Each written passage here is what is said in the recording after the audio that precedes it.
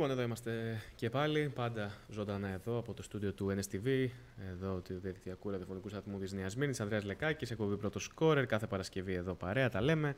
Ε, και για ακόμη μια εβδομάδα το μεγαλύτερο μέρος της εκπομπής μας είναι αφιερωμένο στο Champions League, όπως είπα και στο ξεκίνημα, γιατί είχαμε ε, την διεξαγωγή των επαναληπτικών προημιτελικών αυτή την εβδομάδα και έρχονται οι ημιτελικοί, όχι την εβδομάδα αυτή που μας έρχεται, την επόμενη, ε, που νομίζω ότι θα μας κρατήσουν σε ακόμη περισσότερη αγωνία. Πριν όμως μιλήσουμε για τους ημιτελικούς, να πω ένα-δυο πραγματάκια.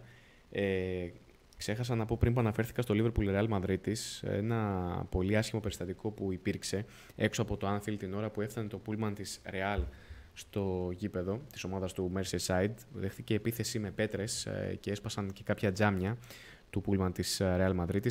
Πολύ άσχημες εικόνες που δεν συνάδουν με το Champions League και αυτά που πρεσβεύει ο αθλητισμός. Ε, εικόνες που έχουμε συνηθίσει να βλέπουμε κυρίως στη χώρα μας, αλλά να, για να μην λέμε μόνο τα άσχημα ε, για μας πάντα, να που συμβαίνουν και στις καλύτερες των οικογενειών. Ας ελπίσουμε, ευτυχώς δεν υπήρξε κάποιος τραυματισμός, δεν υπήρξε κάποιο ακόμη πιο δυσάρεστο περιστατικό. Α ελπίσουμε να μην επαναληφθούν στο μέλλον τέτοια άσχημα περιστατικά. Ε, και μάλιστα η Real, για να το ελαφρύνουμε και λίγο, ε, έμεινε στο ξενοδοχείο, σε ξενοδοχείο στο Λίβερπουλ που, που ονομάζεται Τιτανικός, έχοντας πάρει το όνομά του από το καράβι που βούλιαξε, φυσικά το γνωστό. Ε, και μάλιστα έμεινε την ημέρα ακριβώς που συμπληρώνονταν, που συμπληρώνονταν η επέτειος της βήθησής του, 14 Απριλίου ήταν, το 1912, αν δεν κάνω κάποιο σημαντικό λάθος,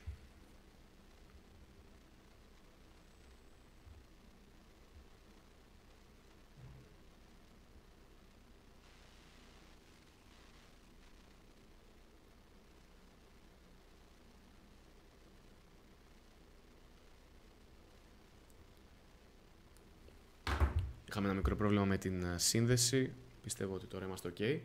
Ε, το 1912 λοιπόν βυθίστηκε ο Τιτανικός 15 Απριλίου ε, και πολύ κοντά δηλαδή με την α, ημερομηνία βυθισής του η Real έμεινε σε ξενοδοχείο που λέγεται Τιτανικός. Δεν είναι προληπτική όπως φαίνεται η άνθρωποι της Real Madrid και έτσι αποδείχθηκε κιόλας, δεν είχαν κανένα πρόβλημα, δεν τους έφερε αυτό κάποια κακοτυχία. Πήραν τελικά την πρόκριση στο Anfield και είναι στα ημιτελικά του Champions League. Και το άλλο που θέλω να πω είναι ένα γενικό σχόλιο για αυτή την φάση των προημιτελικών. Η αλήθεια είναι ότι ε, ενώ κάποια παιχνίδια μας κράτησαν σε αγωνία, ε, Κυρίως τα πρώτα παιχνίδια και το Real Liverpool ήταν πολύ ωραίο παιχνίδι, το 3-1 και το Bayern Monaco πάρει φυσικά 2-3 από τα ωραιότερα παιχνίδια της φετινή διοργάνωσης. Έλειπε όμως γενικότερα το δράμα. Οι επαναληπτικοί δεν α, μας εντυπωσίασαν και τόσο όσον αφορά το να είμαστε κοντά στο να γίνει κάποια μεγάλη ανατροπή. Εντάξει, okay, η Dortmund έβαλε γκολ στην αρχή στο Westfalen, πίστεψε ότι μπορεί να πάρει την πρόκριση με ανατροπή, αλλά τελικά η City διόρθωσε την κατάσταση του δεύτερου ημίχρονου γρήγορα. Η Liverpool έχασε ευκαιρίες, αλλά γρήγορα νομίζω έγινε κατανοητό σε όλους ότι δεν μπορεί να βάλει δύο γκολ για να αποκλείσει τη Real. Ε, το Chelsea Porto δεν το συζητάμε. Η Chelsea πήρε ένα ξεκάθαρο προβάδισμα από την αρχή και μέχρι τις καθυστερήσεις το μάτσα 0-0. Στο τέλος έβαλε γκολ η Porto, δεν προλάβαινε να κάνει κάτι άλλο. Μόνο ίσως το Paris Bayern είχε το δικό του δράμα λόγω του ότι η Bayern από το πρώτο ημίχρονο ε, βρήκε τον γκολ με το οποίο προηγήθηκε 0-1 και όλο το δεύτερο ημίχρονο ε, ήταν ένα μπραντεφέρ μεταξύ των δυο τους. Η Bayern έψαχνε μόλις ένα γκολ για να ε, περάσει αυτή. Η Παρή έψαχνε και αυτή γκολ για να κλειδώσει την πρόκριση. Τελικά έμεινε έτσι 0-1 και η Παρή ήταν αυτή που πέρασε στην επόμενη φάση. Όλες οι ομάδες δηλαδή που πήραν ένα σκορ πρόκρισης από το πρώτο παιχνίδι κατάφεραν να το υπερασπιστούν στο τέλος, στον επαναλυτικό και να πάρουν τελικά την πρόκριση. Ε, και επίσης μπορούμε να πούμε ότι ήταν και λίγο ο γύρος των απουσιών, αυτός ο προημιτελικός γύρος του Champions League, δηλαδή σημαδεύτηκαν τα παιχνίδια από απουσίες σημαντικών ποδοσφαιριστών Είπαμε πριν για τη Ρεάλ που δεν είχε τον Ράμος, δεν είχε τον Βαράν, δεν είχε τον Αζάρ, δεν είχε τον Καρβαχάλ, δεν είχε τον Μπάθκεθ. Ε, η Μπάγκερ φυσικά δεν είχε τον Λεβαντόφσκι και ήταν και αυτή η απουσία τελικά που νομίζω ότι τη τύχησε και την ε, πρόκριση ή έστω να παλέψει ακόμη περισσότερο για την πρόκριση κόντρα στην, ε, στην Παρή. Ακόμα και η Παρή, ειδικά στο πρώτο παιχνίδι, δεν είχε τον Βεράτη, δεν είχε τον ε, Φλορέντσι. Ε, καλά, εντάξει, δεν συζητάμε για τις απουσίες Λίβερπουλ, είναι μακροχρόνιες. Ε, η Dortmund δεν είχε τον Τζέιντον Σάντσο. Σίγουρα μπορεί να είχε ακόμη περισσότερες ελπίδες κόντρα στην City με τον Σάντσο στην ενδεκάδα της. Ε, λείπαν αρκετοί και σημαντικοί παίχτες που μπορεί να είχαμε έτσι μια άλλη εξέλιξη στα παιχνίδια εάν αυτοί αγωνιζόντουσαν. Αλλά ξαναλέω για ακόμη μια φορά με το αν δεν παίζεται ποδόσφαιρο. Και έχουμε τώρα δύο ζευγάρια για την ημιτελική φάση. Real Madrid της Chelsea και Paris Saint-Germain Manchester City. Να αρχίσουμε λίγο με το Paris Manchester City. Ο πρώτο παιχνίδι θα γίνει Τετάρτη 28 Απριλίου, Μεγάλη Τετάρτη δηλαδή, και Τρίτη του Πάσχα θα γίνει η Revans. Πρώτο το παιχνίδι στο Παρίσι, το πρώτο παιχνίδι, το δεύτερο παιχνίδι στο Manchester. Λοιπόν, ε, είναι ένα αντάμωμα που σίγουρα πολλοί θα ήθελαν να το δουν στον τελικό. Δηλαδή, δύο ομάδες, θα είπαμε και προηγουμένως, που έχουν ε, κοινές πορείες τα τελευταία χρόνια. Γιγαντώθηκαν και οι δύο την τελευταία δεκαετία με τα λεφτά των Αράβων. Από, το, από εκεί που ήταν αμελητές ποσότητες στην Ευρώπη έγιναν ξαφνικά μεγαθύρια και ε, αυτή τη χρονιά η Παρή το κάνει και πέρσι, αλλά και οι δυο τους αυτή τη χρονιά καταφέρουν να εξαργυρώσουν όλα αυτά, όλη αυτή την, τη μεγάλη προσπάθεια, όλα αυτά τα, τα τεράστια ποσά που ξόδεψαν τα τελευταία χρόνια. Δεν θα δούμε τελικό, θα δούμε έναν ημιτελικό. Η Παρή είναι για δεύτερη σερή χρονιά στα ημιτελικά του Champions League, ήταν και πέρσι που έφτασε μέχρι τον τελικό. Η City για πρώτη φορά στην εποχή του Guardiola περνάει στον ημιτελικό. Ήταν κάτι που το έψαχνε ο Καταλανός τεχνικός, ήταν κάτι το οποίο το κουβάλαγε σαν βάρος, το γεγονός ότι είχε πάρει πρωταθλήματα στην Αγγλία με τη City και με εντυπωσιακές πορείες. Είχε πάρει κύπελα, λίγκα, αλλά στο Champions League δεν μπορούσε να ε, προχωρήσει πέρα από τα πρώιμη τελικά. Να λοιπόν φέτος που τα κατάφερε και ο Guardiola ψάχνει σε αυτό το ζευγάρι το πρώτο του τελικό μετά από 10 χρόνια. Όσο και αν μας φαίνεται περίεργο, 10 χρόνια πέρασαν από τότε που, το πήρε, που πήγε τελικό και το πήρε ο Guardiola με την Barcelona τότε κόντρα στη United το 2011 στο, στο Wembley. Ο Guardiola έχει φτάσει με τελικό και με την Bayern ε, στα μέσα της δεκαετίας του 2010. Αλλά με τη City πρώτη φορά. Η City έχει ξαναφτάσει εντωμεταξύ τελικά, μόνο μια φορά, την σεζόν 15-16, αλλά τότε είχε προπονητή τον Μανουέλ Πελεγκρίνη. Και τότε είχε αντιμετωπίσει την Real στον ημιτελικό. Είχε αποκλειστεί έχοντας δεχθεί ένα γκολ συνολικά, με ένα γκολ του Μπέιλ. Ε, και παρεμπιπτόντως εκείνη τη χρονιά που έφτασε μέχρι τα ημιτελικά, ένα γύρο πριν, στα προημιτελικά, είχε αποκλείσει την Παρή. Πάλι είχαν αναμετρηθεί αυτές οι δύο ομάδες και είχε αναδειχθεί νικήτρια η City σε εκείνο το παιχνίδι, σε εκείνες τις αναμετρήσεις. Λοιπόν, και τώρα οι δύο τους τα λένε στην ημιτελική φάση.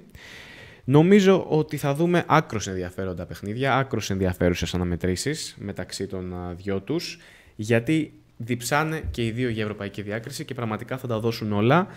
Ε, η Πάρη, ξαναλέω ότι θέλει να φτάσει για δεύτερη συνεχόμενη χρονιά στο τελικό και αυτή τη φορά να τα καταφέρει. Η City για πρώτη φορά στην ιστορία της σε τελικό. Πολλοί θα είναι οι πρωταγωνιστές σε αυτή την αναμέτρηση από τους προπονητές, Γκουαρτιόλα και Ποτσετίνο, μέχρι τους α, παίχτες όπως ο Νεϊμάρ, ο Εμπαπέ, ο Ντεμπρόινε, ο, ο Φόντεν. Ε, θα δούμε πάρα πολύ ωραία παιχνίδια γιατί είναι και οι δύο ομάδες ε, που έχουν τεράστια ποιότητα στο δυναμικό τους. Δεν νομίζω να μπορούν να γίνουν προβλέψεις. Αν μπορώ να κάνω μια πρόβληψη για την εικόνα των παιχνιδιών, είναι πως η City θα κάνει το παιχνίδι που της αρέσει, θα έχει δηλαδή την κατοχή και η Παρή, όπως έκανε και στα μάτια με την Bayern και με την Barcelona, θα αρέσκεται στο να φύγει στην κόντρα, να εκμεταλλευτεί τον Neymar, τον Mbappé, τον Kane, ποιος θα παίξει, τον Di Maria. Γρήγορους παίκτες δηλαδή. Αυτό, αυτή είναι άλλωστε και η συνταγή της Παρή και αυτή είναι η συνταγή που την έχει φέρει μέχρι εδώ. Ε, η Παρή είναι εντυπωσιακό το πόσο δύσβατο είναι το μονοπάτι της στο φετινό Champions League γιατί στους 16 και όλα μάνι μάνι συνάντησε την Μπαρτσελώνα που μπορεί να μην είναι στην καλύτερη της κατάσταση αλλά είναι πάντα η Μπαρτσελώνα. Την απέκλεισε βρήκε μπροστά της την πρωταθλήτρια Ευρώπης στην Bayern. Απέκλεισε και την Bayern και τώρα βρίσκει μπροστά της στη City. Και αν περάσει τον τελικό θα βρει μια εκ των Chelsea και Real ε, δηλαδή, εάν η Παρή καταφέρει να πάρει αυτό το Champions League, θα μιλάμε πραγματικά για έναν τεράστιο άθλο που θα αλλάξει μια για πάντα, εννοείται, το στάτους των α, πρωταθλητών Γαλλίας. Ενώ γιατί είχε μια πιο ομαλή πορεία στο φετινό Champions League, δηλαδή ε, απέκλεισε δύο γερμανικές ομάδες στα νοκάου, του Gladbach και Dortmund. Την Gladbach μάλιστα με χαρακτηριστική ευκολία και την Dortmund ε, εν τέλει πάντως με δύο νίκες. Αλλά πραγματικά η πορεία της Παρή είναι αξιοσημείωτη. Να δούμε, να δούμε τι θα γίνει. να δούμε ποια από τις δύο ομάδες θα καταφέρει να φτάσει στο τελικό και μια ανάσα από το διακαή της πόθο που είναι το Champions League όλα αυτά τα χρόνια που έχουν αλλάξει επίπεδο.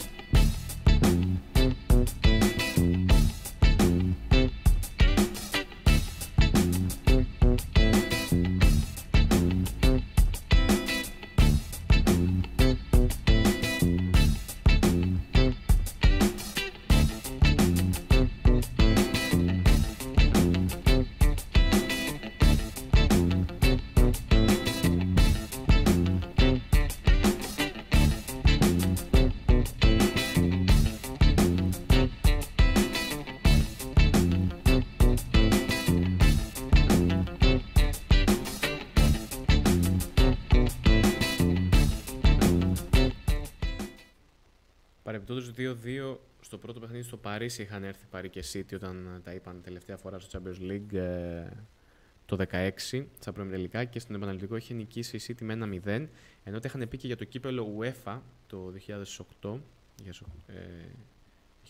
2007-2008 ή 2008-2009 2008-2009 σε φάση ομίλων ήταν τότε ένα 0-0 που είχαν φέρει τελείως διαφορετικές βέβαια και δύο ομάδες ε, τότε δεν το συζητάμε ε, λοιπόν και πάμε τώρα στον άλλον ημιτελικό, στο ε, Real Chelsea.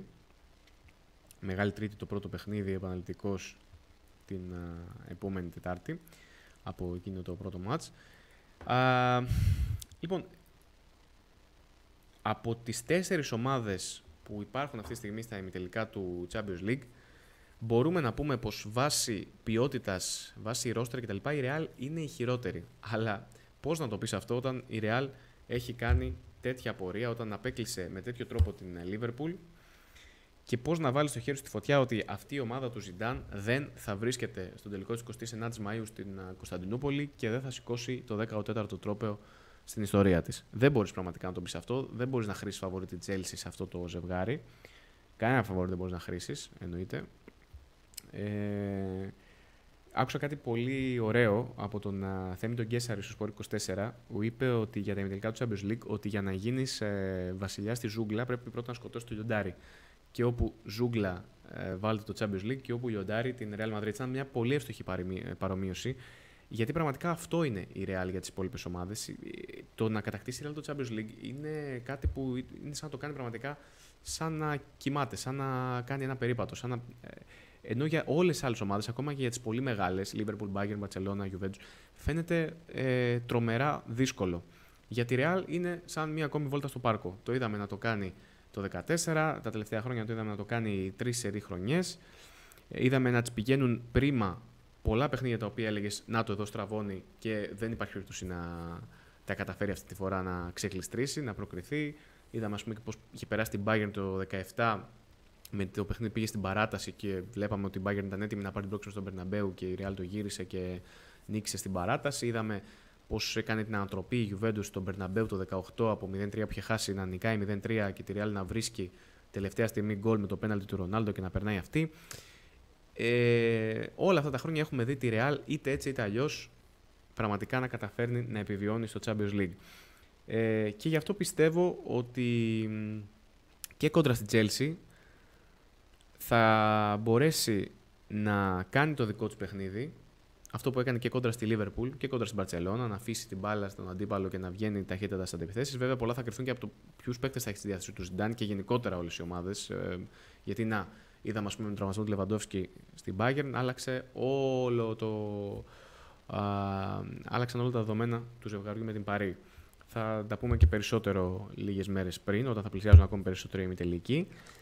Αλλά αυτό πραγματικά, αυτό ακριβώς πρέπει να, κάνει, να κάνουν οι υπόλοιπε ομάδε να σκοτώσουν το λιοντάρι που είναι η Real Madrid στο Champions League. Γιατί και είτε η Paris είτε η City περάσουν στον τελικό και βρουν απέναντί τους τη Real, εκεί τα πράγματα είναι δύσκολα. Άντε να πάρεις τελικό από τη Real Madrid, έχει να χάσει τελικό στο κύπρο Πρωταθλητριών το 81, τελευταία της City. Τότε που είχε χάσει από τη Liverpool με εκείνο τον γκολ του Kennedy στο Παρίσι. Ε, δεν, ε, δεν έχει χάσει άλλο τελικό η Real. Από τη στιγμή που θα πάει τελικό, νομίζω ότι θα έχει τον πρώτο λόγο. Αλλά τώρα σε αυτό το ημιτελικό με την Chelsea, η Chelsea έχει ε, ένα υπερπλήρες ρόστερ, αλλά τα είχαμε πει και την άλλη φορά, δεν έχει καταφέρει να εντάξει τους ε, περισσότερους αστέρες της μέσα στην ομάδα. Δεν το κατάφερε ο Λάμπαρτ στην αρχή. Το παλεύει ο Τούχελ μεσούση της σεζόν. Δεν είναι εύκολο. Έστω και αν είναι Γερμανός, έστω και αν όλοι πίστευαν ότι θα έχει καλύτερους διάβολους επικοινωνίας με παίκτες όπως ο Βέρνερ, ο Χάβερτς. Ο Χάβερτς τώρα τελευταία έχει αρχίσει και ανεβάζει την αποδοσή του και το μάλιστα το χρησιμοποιεί ο Τούχελ σε ρόλο 4.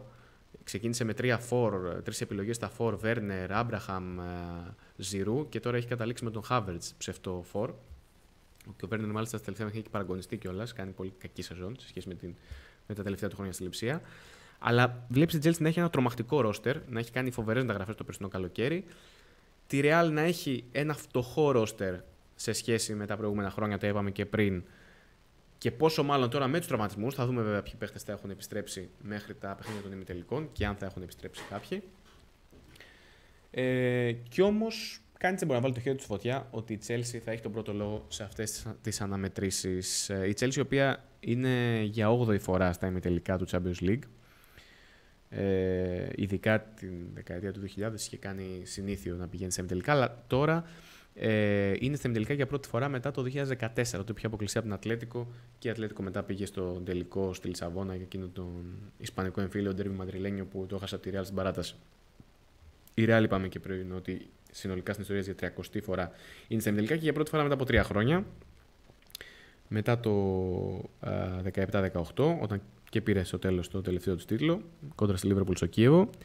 Το παράδοξο είναι ότι σε επίπεδο Champions League δεν έχουν αναμετρηθεί αυτές οι δύο ομάδες και αυτό είναι κάτι που δίνει ακόμη μεγαλύτερο ενδιαφέρον σε αυτό το ζευγάρι.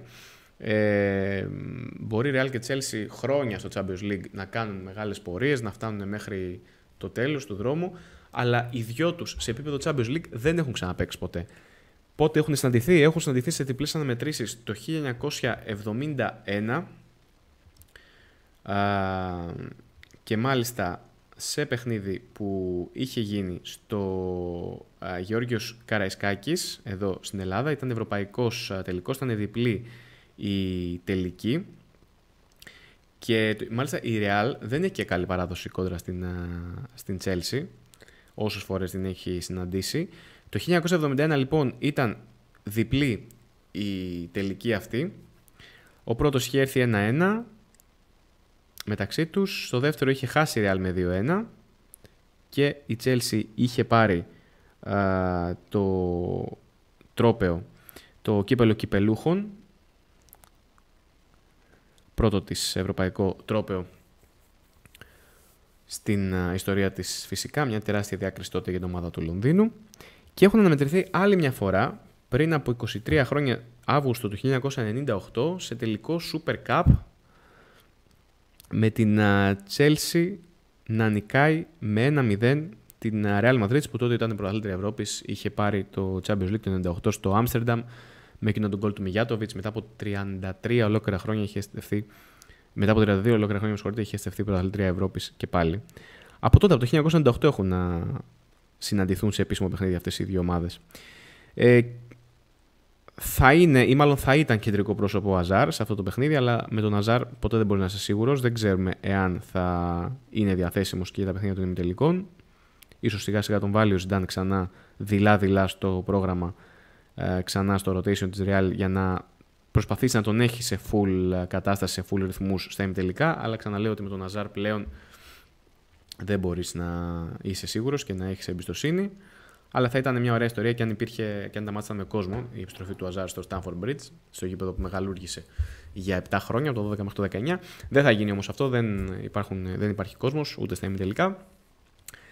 Αλλά σαν συμπέρασμα περιμένουμε να δούμε δύο πολύ μεγάλους ημιτελικούς, δύο τιτανομαχίες στην, ένα βήμα πριν από τον τελικό που θα γίνει ξανά 29 Μαΐου στην Κωνσταντινούπολη, στο Κεμάλα Τούρκ, στο γήπεδο όπου ήταν να γίνει πέρσι ο τελικός, λόγω κορονοϊού τα πάντα άλλαξαν. Στο γήπεδο που το 5 είχε πάρει εκείνη την επική. Α, είχε επικρατήσει εκείνο το επικό τελικό η Λίβερπουλ της Μίλαν 3-3 από 3-0 και με νίκη στα πέναλτι. Λοιπόν, ε, ένα-δύο λεπτάκια διάλειμμα και να πούμε λίγα πράγματα και για το Europa League.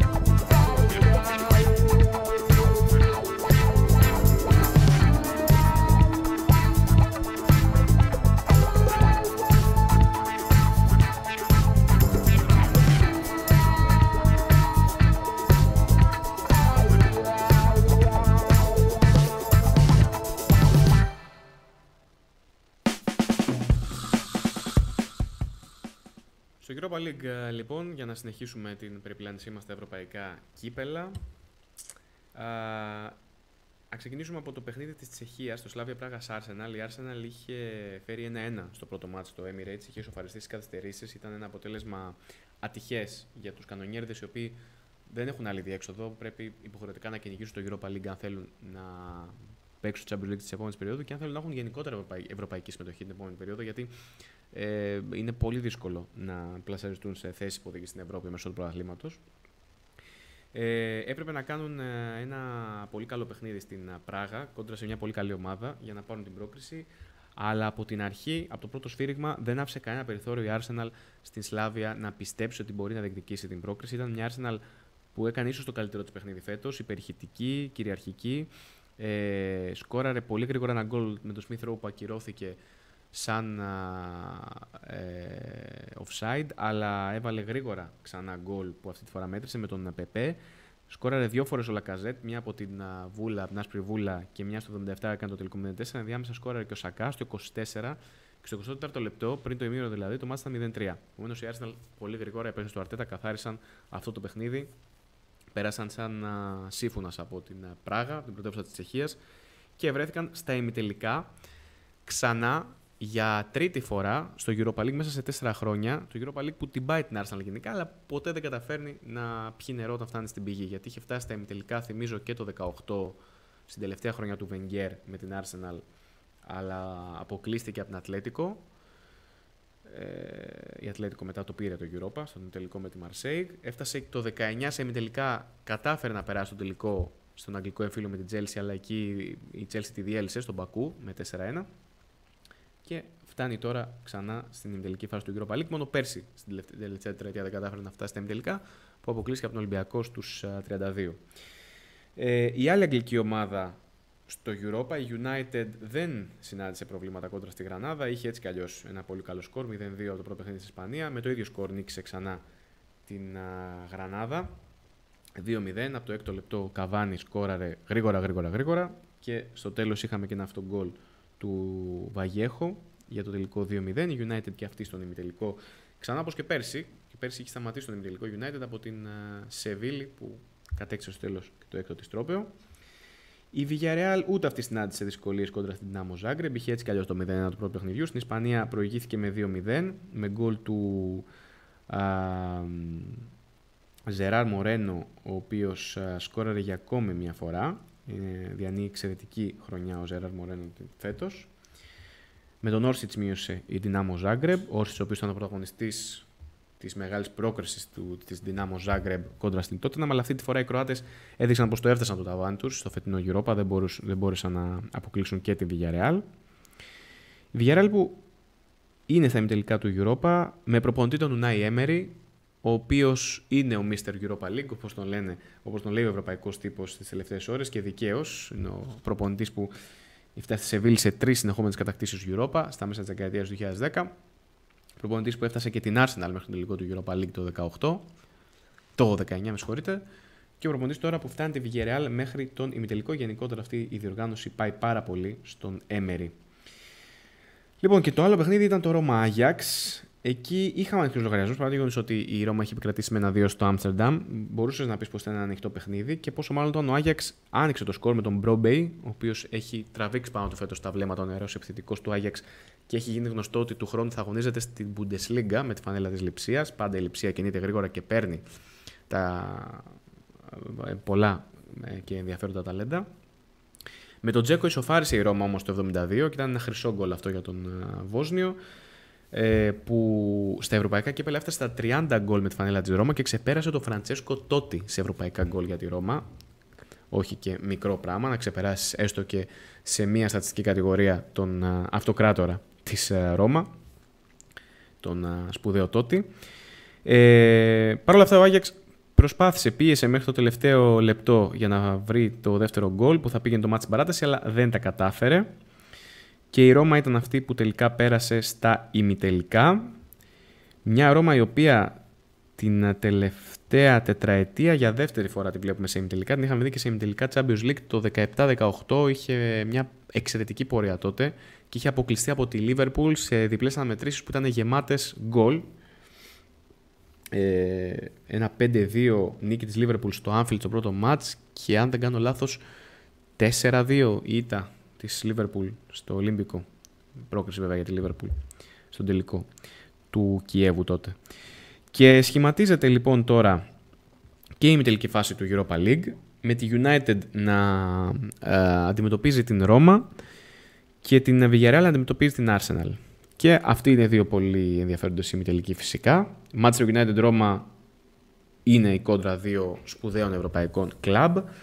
Με την Ρώμα να έχει μπροστά της μια τεράστια πρόκληση να πάρει μέρος, αν δεν κάνω κάποιο σοβαρό λάθος, στον πρώτο της τελικό ευρωπαϊκό μετά το 84, τότε που είχε χάσει ως γηπεδούχος, γιατί ήταν στο Ολύμπικο εκείνο το παιχνίδι, από τη Λίβερπουλ, το κύβολο πρωταθλητριών. Ε, αυτό το παιχνίδι ξυπνάει μνήμες από τη σεζόν 6-7, τότε που η United είχε διαλύσει τη Ρώμα με 7-1 στα προημιτελικά του Champions League και είχε χάσει μάλιστα και το πρώτο παιχνίδι, 2-1, αν θυμάμαι σωστά. Αλλά εκείνο το 7-1 ήταν επικό πραγματικά και από τα πιο χαρακτηριστικά παιχνίδια στην ιστορία του Champions League. Τότε η United με Sir Alex Ferguson, με Giggs, με Cristiano Ronaldo, με Rooney, με μια τεράστια ομάδα βέβαια εννοείται. Ε, και το άλλο παιχνίδι είναι το Villarreal Arsenal, που αυτό και αν ξυπνάει μνήμες. Και ξυπνάει μνήμες από τον ημιτελικό, πάλι σε ημιτελικό είχαν βρεθεί, του 2006, πριν από 15 χρόνια, Champions League τότε, όταν η Arsenal, μια εντυπωσιακή Arsenal που είχε ένα εντυπωσιακό σερί 10, αν δεν κάνω λάθος, παιχνιδιών χωρίς να δεχτεί γκολ στο Champions League, μια Arsenal που δεν της έβαζες γκολ με τίποτα, έκανε μια εντυπωσιακή πορεία. Δύο χρόνια μετά τους Invincibles, δύο χρόνια μετά που κατέκτησε το ITT το πρωτάθλημα στην, στην Premier League και έφτασε μέχρι το τελικό του Champions League. Αλλά για να φτάσει και το τελικό Champions League, χαμένος από την Barcelona στο Παρίσι με 2-1, χρειάστηκε να περάσει πρώτο το εμπόδιο της Villarreal.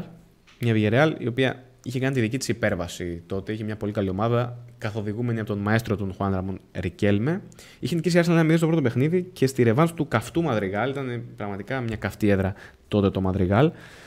Ε, λίγα λεπτά από το τέλος είχε κερδίσει πέναλτι Villarreal, το οποίο εκτέλεσε ο Ρικέλμε και το έπιασε ο Λέμαν. Ένα πέναλτι που πραγματικά στοιχιώνει την καριέρα του Ρικέλμε, από τα πιο χαρακτηριστικά χαμένα πέναλτι στην ιστορία του Ευρωπαϊκού Ποδοσφαίρου. Και εκεί ο Ρικέλμε έχασε τη μεγάλη ευκαιρία, τεράστιος ποδοσφαιριστής, αλλά έχασε την πολύ μεγάλη ευκαιρία να, να τον θυμόμαστε ακόμη περισσότερο. Αν θα, ε, να έκανε ακόμα δηλαδή, πιο επιδραστική την παρουσία του Ευρωπαϊκού Ποδόσφαιρου, αν είχε καταφέρει ε, με εκείνο το πέναλτι να στείλει το μάτσα αρχικά στην παράταση και συνέχεια να οδηγήσει τη Villarreal σε ένα ευρωπαϊκό τελικό. Στοιχιώνει ακόμα τη Villarreal και τους φίλους της εκείνο το χαμένο πέναλτι του Ρικέλμε. Θεωρούν ότι ε, το κίτρινο υποβρύχιο έχασε μια τεράστια ευκαιρία τότε να παίξει σε ένα τελικό Champions League. Και θα είχε την ευκαιρία η Villarreal να πάρει τη δική της εκδίκηση σε αυτό το ημιτελικό του Europa League κόντρα στην Arsenal. Που ξαναλέω ότι η Arsenal θέλει οπωσδήποτε να κατακτήσει τον τρόπο για να βγει Ευρώπη του χρόνου. Θέλει να πάει ξανά σε τελικό Europa μετά από δύο χρόνια. Όρατο το ενδεχόμενο φυσικά να έχουμε ένα αγγλικό εμφύλιο στο φετινό Europa League, να έχουμε ένα United Arsenal δηλαδή στο τελικό του Gdansk της Πολωνίας, όπως είναι ορατό το ενδεχόμενο να έχουμε ε, αγγλικό εμφύλιο και στο Champions League, για να περάσουν η City και η Chelsea. Αλλά αυτά θα τα δούμε εν καιρό. Ε, το σημαντικό είναι ότι και στο Europa League μας περιμένουν δύο πολύ ε, σημαντικοί και ενδιαφέροντες ημιτελικοί.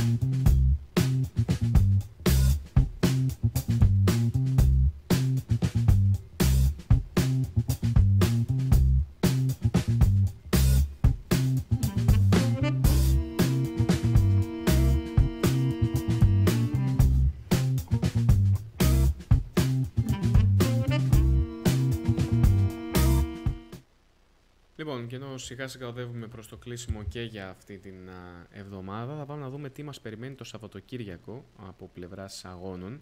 Θα ξεκινήσουμε το δικό μας πρωτάθλημα, αφού πούμε ότι φυσικά ο Ολυμπιακός και τυπικά πλέον είναι πρωταθλητής Ελλάδος από την περασμένη Κυριακή για 46η φορά στην ιστορία του. Προσθέτει ένα ακόμη πρωτάθλημα στην α, τροπεοθήκη του 7 αγωνιστικές πριν από το τέλος της ε, κανονικής διάρκειας. Είναι ένα ρεκόρ αυτό ε, όσον αφορά τις αγωνιστικές που απομένουν ε, για να ολοκληρωθεί το, το πρωτάθλημα.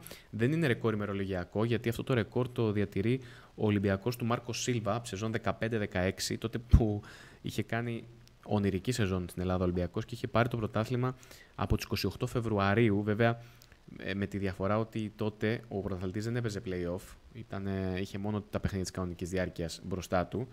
Τώρα είναι και τα play-off μπροστά, επομένως είναι περισσότερα παιχνίδια γενικότερα για, τον, για τις ομάδες. Είναι 36 συνολικά τα παιχνίδια.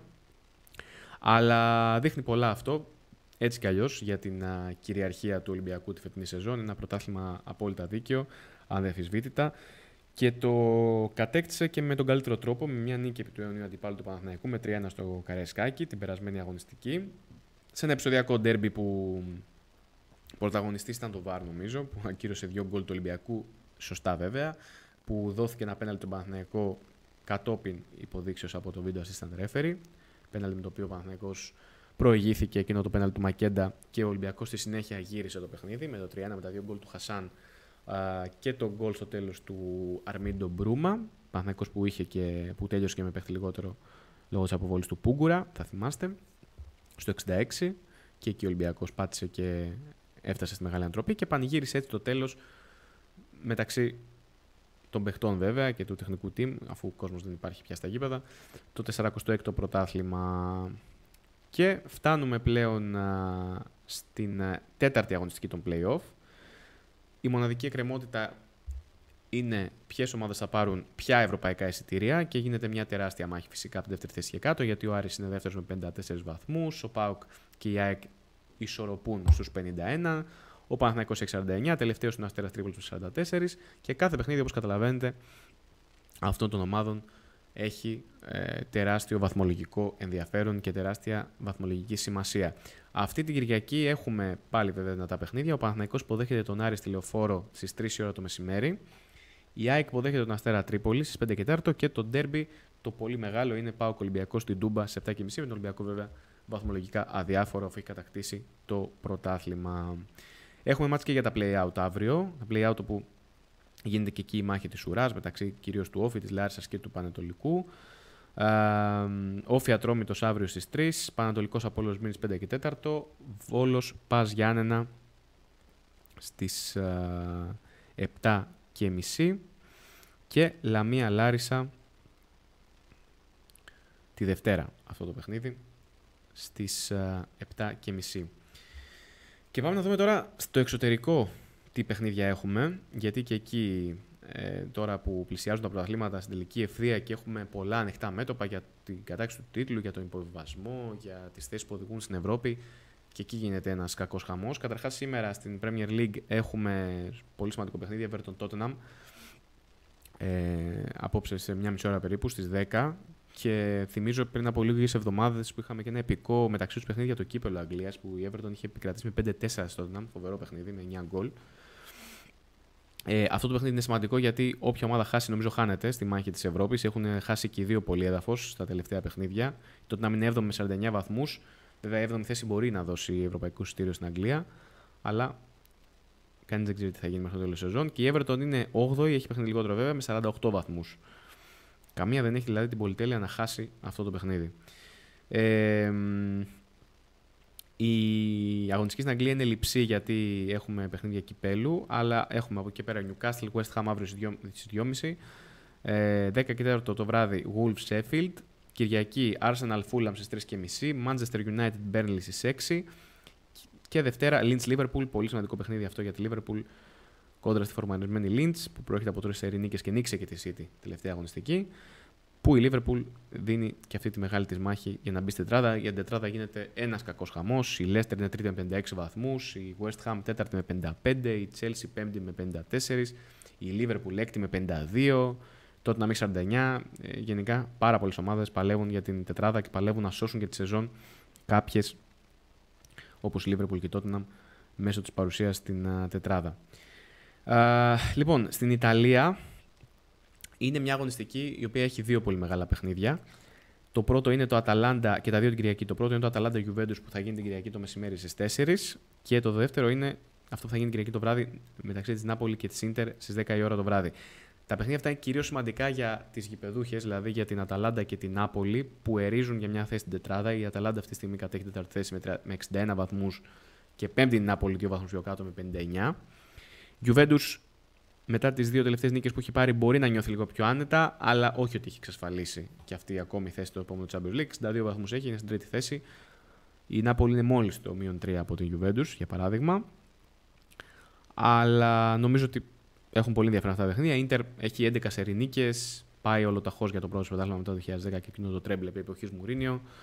Ε, μια ομάδα που πηγαίνει πραγματικά τρένο στην Ιταλία, αλλά θα έχει πολύ α, ενδιαφέρον να δούμε πώς θα ανταπεξέλθει στο δύσκολο παιχνίδι στο Σαν Πάολο κόντρα στην Νάπολη που κυνηγάει το Champions League. Από εκεί πέρα η Μίλαν υποδέχεται την Τζένοα, ε, η Λάτσιο την Μπενεβέντο και η Ρώμα φιλοξενείται από την Τωρίνο. Άλλες ομάδες παλεύουν επίσης για ευρωπαϊκά εισιτήρια. Στην Ισπανία τώρα, εκεί που γίνεται επική μάχη για την κατάξυση του, του τίτλου, γιατί δεν είναι μόνο η Ατλέτικο, η Ρεάλ και η Μπαρτσελώνα, είναι ότι και η Σεβίλη, πλάκα-πλάκα, με την νίκη που πήρε στο τελευταίο παιχνίδι κόντρα στη Θέλτα με ένα 3-4, εντυπωσιακό παιχνίδι με 7 γκολ. Ε, Χωρίς νομίζω να το έχουν αντιληφθεί οι περισσότεροι, έχει πλησιάσει στους 6 βαθμούς από την κορυφή. Βέβαια, η Σεβίλη έχει και δύσκολο πρόγραμμα μέχρι το τέλος. Όλες οι ομάδες βέβαια έχουν ένα απαιτητικό πρόγραμμα που είναι στην πρώτη τετράδα. Αλλά με αυτά που γίνονται φέτος στην Ισπανία, ποιος να βάλει το χέρι του στη φωτιά. Επομένως, μπορούμε να πούμε ότι έχουμε τέσσερις ομάδες να παλεύουν για το τίτλο στην Ισπανία. Κάτι φυσικά που έχει πάρα πολλά χρόνια να γίνει. Και νομίζω ότι για τους ουδέτερους είναι το καλύτερο δυνατό αυτό, να δούμε τελευταίες αγωνιστικές ένα πρωτάθλημα με πολύ μεγάλο suspense. Να δούμε πού δοκιμάζονται τώρα οι πρωτοπόροι. Η Σεβίλη έχει όλα τα παιχνίδια την Κυριακή θα γίνουν στην Ισπανία. Υπάρχει ο τελικός του κυπέλου Μπαρσελόνα Μπιλμπάου. Τα έχουμε πει από την προηγούμενη εκπομπή πόσο σημαντικό είναι και για τις δύο ομάδες, αλλά κυρίως για την Μπιλμπάου αυτός ο τελικός.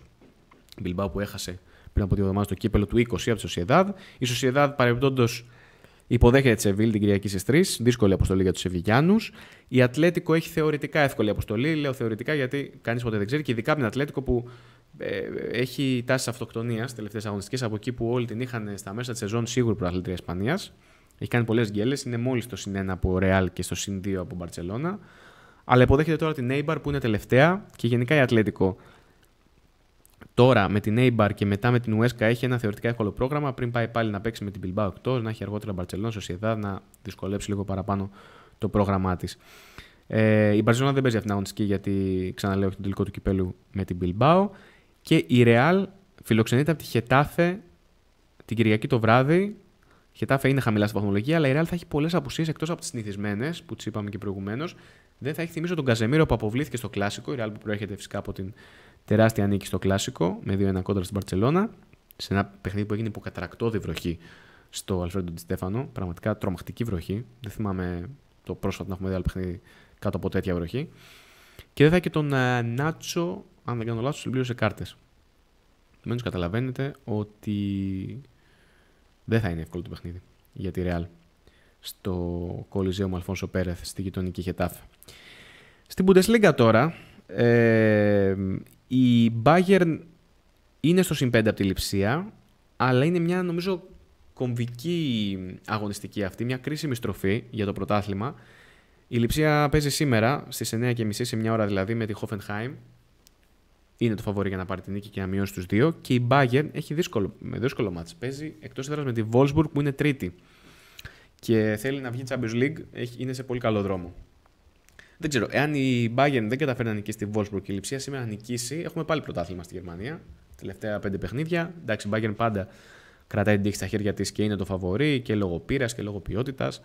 Αλλά να, που η Λιψία μπορεί να, να εκμεταλλευτεί για παράδειγμα τις σημαντικές απουσίες που έχει η Bayern στα τελευταία παιχνίδια. Στο μάτσο με την Union Βερολίνου που δεν ήξερε κιόλας στο Μόναχο, αγωνίστηκε με πολλούς αναπληρωματικούς, με παιδιά από τις Ακαδημίες, να φανταστείτε και να πιέσει μέχρι το τέλος, μπας και κάνει την έκπληξη. Παρεμπιπτόντως, ο προπονητής Λειψίας, ο Νάγκελσμαν, ακούγεται πάρα πολύ για να διαδεχθεί τον Φλικ στον πάγκο της Bayern, στον πάγκο της Bayern την επόμενη αγωνιστική.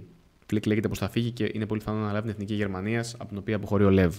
Να έχουμε αυτό το ντόμινο δηλαδή στους πάγκους. Ο Νάγκελσμαν είναι ένας από τους πιο ελπιδοφόρους προπονητές. Μόλις στα 33 του έχει κάνει απίστευτη δουλειά στην α, Λειψία. Και θα είναι ένα μεγάλο βήμα, βέβαια, ένα μεγάλο σκαλοπάτι του να αναλάβει την Bayern.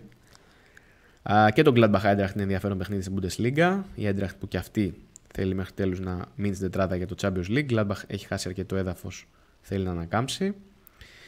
Και η Dortmund, η οποία έχει αποκλειστεί πλέον από το Champions League, θα τα δώσει όλα για το κύπελο, αλλά και για να ε, μπει στην τετράδα όσο και δύσκολο και αν είναι αυτό, θα αντιμετωπίσει τη Βέρντερ Βρέμι την Κυριακή στις 4.30. Και στη Γαλλία τώρα, για να ολοκληρώσουμε αυτή τη βόλτα μας στα μεγάλα ευρωπαϊκά πρωταθλήματα, σήμερα παίζει η Λίλ με τη Μοπελιέ.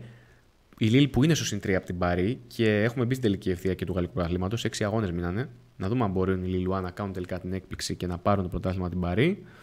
Σημαντικό το παιχνίδι τους με τη Μοπελιέ. Ακόμα πιο σημαντικό το παιχνίδι της επόμενης αγωνιστικής που είναι με τη Λιόν. Η Παρή παίζει με τη Σεντετιέν μεσημέρι Κυριακής 2 η ώρα. Η Μπορντό φιλοξενεί τη Μονακό και η Νάντ φιλοξενεί τη Λιόν. Λίλ, Παρή, Μονακό, Λιόν είναι στην πρώτη τετράδα στη Γαλλία και ρίζουν και για τον τίτλο αλλά και για τις θέσεις στο Champions League. Ένα γαλλικό πρωτάθλημα που σε αντίθεση με ό,τι μας έχει συνηθίσει τα τελευταία χρόνια έχει πάρα μα πάρα πολύ ενδιαφέρον φέτος και πραγματικά νομίζω πολύ κομβικά παιχνίδια θα είναι το, Lille, το Lyon Lille την επόμενη Κυριακή, 25 Απριλίου στις 10 ώρα το βράδυ, αλλά και το Μονακό Lyon, αυτό κυρίως για το Champions League, αλλά δεν ξέρεις ποτέ, ε, στις 2 Μαΐου, πάλι στις 10 ώρα το βράδυ. Λοιπόν, μας περιμένουν ωραία παιχνιδάκια λοιπόν και το Σαββατοκύριακο. 8.30 ώρα, κάπου εδώ θα αποχαιρετιστούμε και για αυτή την ε, εβδομάδα. Ήμουν ο Ανδρέας Λεκάκης στην εκπομπή πρώτο σκόρερ εδώ στο ραδιόφωνο του NSTV. Μιλήσαμε κυρίως για Champions League και για Europa αυτή την εβδομάδα. Ξανά άλλη μια εκπομπή ήταν το μεγαλύτερο μέρος αφιερωμένο σε, αυτά τα, σε αυτές τις μεγάλες ευρωπαϊκές διοργανώσεις. Ε, μαζί θα είμαστε και την επόμενη Παρασκευή. Να είστε καλά, να περνάτε καλά μέχρι τότε και εμείς εδώ τα ξαναλέμε. Γεια σας.